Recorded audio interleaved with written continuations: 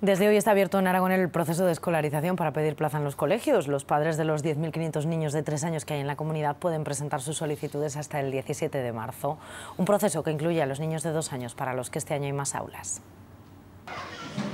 Comienza la escolarización para 10.500 niños de 3 años. Más de 6.000 son de Zaragoza. Para ellos se ofertan 7.800 plazas. Además, este curso tendrá la mayor bajada de ratios de la historia, con 19 alumnos por aula en la mayoría de los centros. Las ratios que hemos establecido son las que se hacen en, función de la previsión.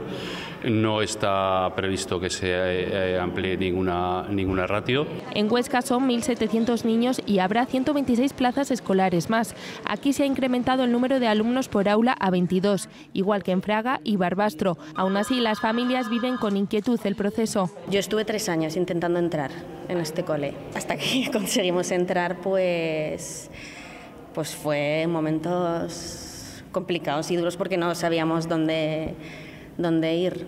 Pero que sepan que... Eh, cualquier centro educativo es un buen centro educativo para nuestros hijos o para sus hijos. También hoy arranca la escolarización para los centros municipales y las aulas de dos años que este año serán 29 en todo Aragón.